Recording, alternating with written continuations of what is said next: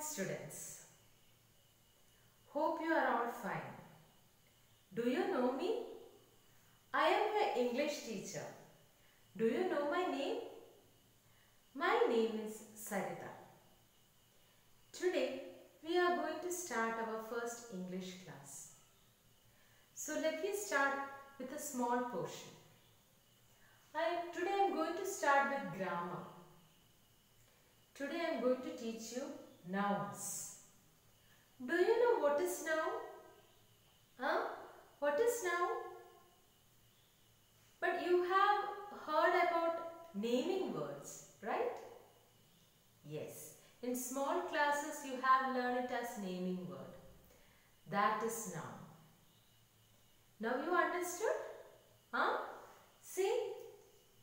Names of people are nouns. Name of your name, your father name, your mother name, your grandfather's name, everybody's name is noun.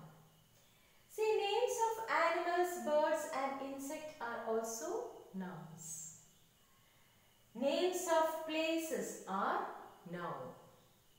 Name of your place is also noun. See how interesting, no?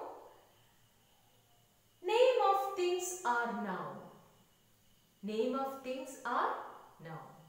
This much you have studied earlier, right? Huh? When we say the uh, definition of naming words, we say the names of people, animals, birds, insect, places, things are noun. See how interesting? But see, names of days of weeks are noun. Are there in a week?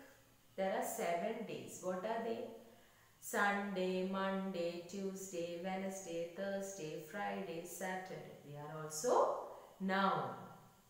See, names of months are noun. How many months are there in a year?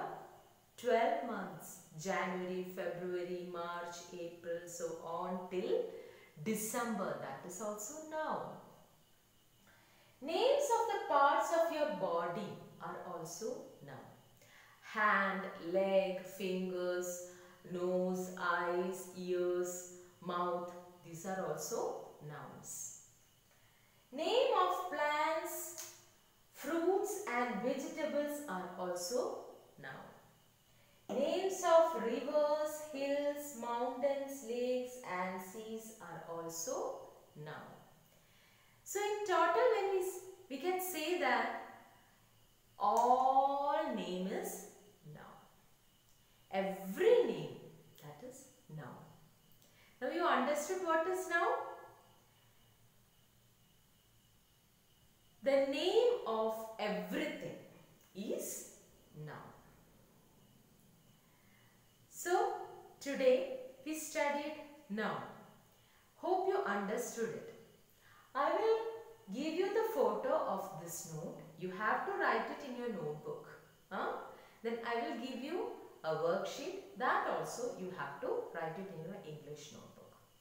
So today's class is over. Thank you.